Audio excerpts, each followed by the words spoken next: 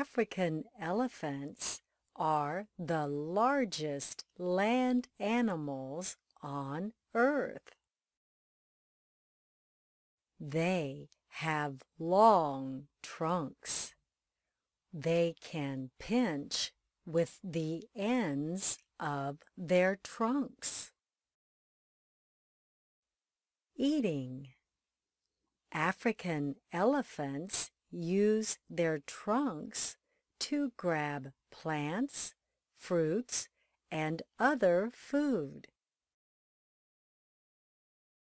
They use strong tusks to dig up roots. Tusks also help them strip bark from trees. Staying cool. African elephants must stay cool in hot weather. They spray water on their bodies. They also cover their bodies with dust.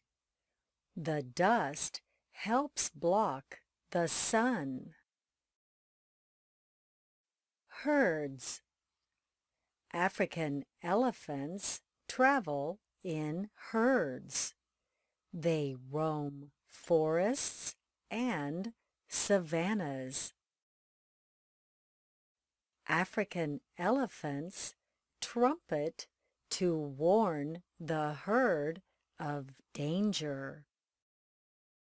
They often twist their trunks together to say hello. Elephant hug.